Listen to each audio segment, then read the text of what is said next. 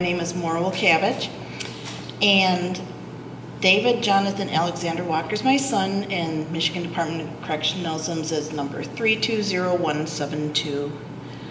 David was sent to prison for a nonviolent crime. He entered the MDOC Reception Center in the summer of 2007, and from there he went to Gus Harrison, Chippewa, Huron Valley, Handlon, Huron Valley. We have a question mark because there is another one there and I can't find it.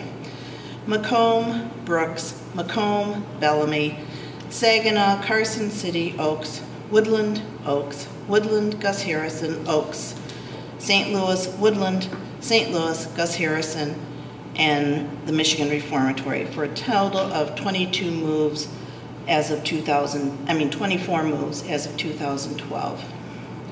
David has a long and well-documented history of mental illness, and with each move there's either a disruption, change, or abrupt change in medication.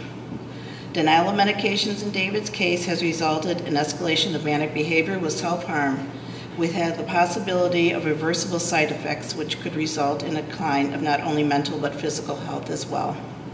When taken off his medications, David becomes agitated, paranoid, his thoughts become fragmented, and he's unable to sleep.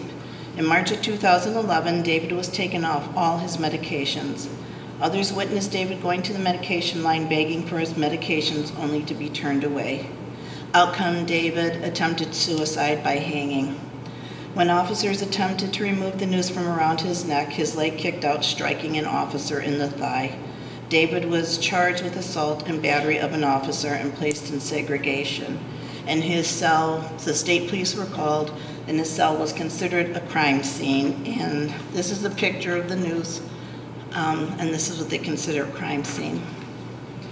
He is now four and a half years past his early release date, and one of the contributing factors in not having been paroled is the misconduct tickets that he has received. Many of these misconduct tickets he has acquired coincide when there has been a major change or stop in his medication. Along with so many moves, there also comes the challenge of the starting of or the completion of any classes that he has been required to take. As a taxpayer of the state of Michigan, I'm truly baffled at how all these moves, all these issues with medication, and keeping nonviolent inmates years past their early release date is being fiscally responsible. How many times a year is this scenario repeated and at what cost to the taxpayers of the state of Michigan? Many of these inmates could be supervised out in the community and get the treatment they need to become successful, productive citizens for far less than the average $35,000 a year it costs to keep them behind bars. This would be a cost saving to the state and a positive use of the taxpayers' money.